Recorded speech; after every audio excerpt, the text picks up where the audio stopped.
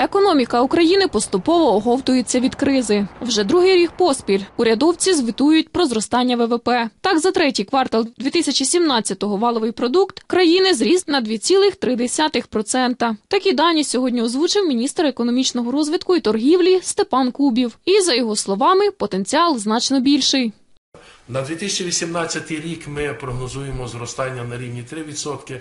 Хоча хочу сказати, навіть Moody's дає більш оптимістичний ріст економіки 3,5%. Ми паралельно говоримо, що ріст економіки в Україні має всі шанси, всі можливості бути на рівні 6-8%.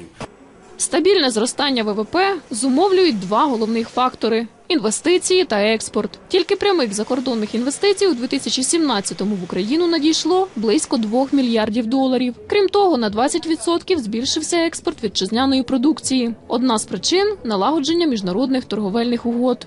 Набула чинності угода про вільну торгівлю з Канадою, яка відкрила е, безмитний доступ для українських експортерів до 98 відсотків ринків товарів.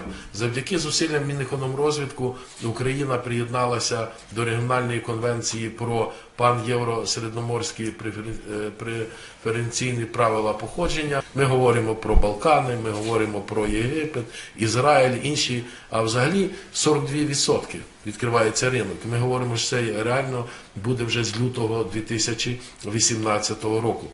Поряд з тим говорять про торговельну анексію Російської Федерації. Експортувати українську продукцію стало важко, бо Росія, використовуючи власний вплив на міжнародній арені, перекрила Україні доступ до значних ринків збуту.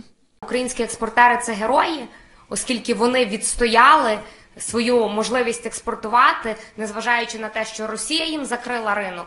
І що найгірше, це те, що Росія закрила їм доступ на їхні традиційні ринки. Це такі як Казахстан, Азербайджан, Узбекистан, частково Китай.